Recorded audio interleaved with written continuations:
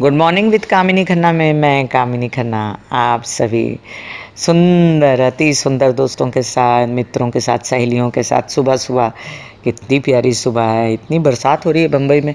और पीछे तो लगातार बारिश हो रही थी अब थोड़ी थोड़ी राहत हो जाती है। तो आ, मुझे एक विचार आया था बरसात में घूम रही थी।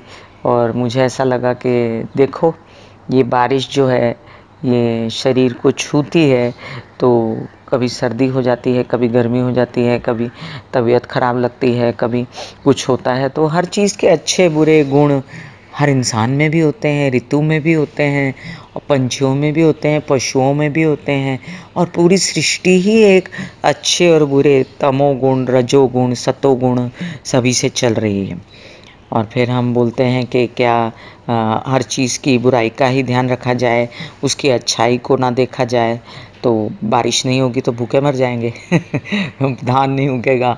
और अगर कभी कभी ऐसा भी होगा, ज़्यादा बारिश होगी तो प्रलय आ जाएगी, ज़्यादा बारिश होगी तो बहुत बहुत ज़्यादा नदियाँ बढ़ जाएँगी और पूर आ जाएँगे और बहुत ज़्यादा धान नष्ट हो जाएगा, ऐसा भी हो सकता है। और ज़्यादा बारिश होगी तो नुकसान भी हो सकता है, कभी भीग जाएँगे तो ज़ुकाम भी हो जाएगा। ठंड भी लग जाएगी, निमोनिया भी हो सकता है। लेकिन अगर बारिश नहीं हुई तो क्या होगा? तो हर चीज़ में एक अच्छाई, एक बुराई, ऐसा कुछ ना कुछ तो छुपा ही होता है।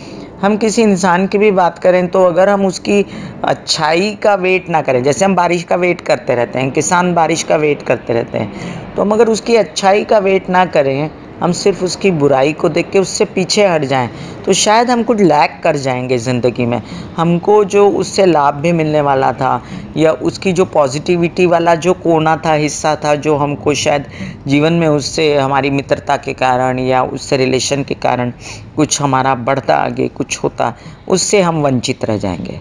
तो दोस्त सभी के होते हैं, मेरे भी हैं, आपके भी हैं घर वाले सभी के होते हैं कुछ अच्छाइयाँ होती हैं कुछ बुराइयाँ होती हैं।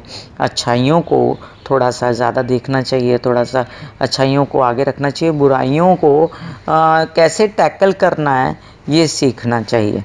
ठीक है ना? आज के लिए इतना ही काफ़ी फिर मिलूँगी। गुड मॉर्निंग विद कामिनी करना में। तब तक के लिए आप कामिनी करना को आशीर्वाद दीजिए और धन्यवाद कहती हूँ मैं। God bless you take care and goodbye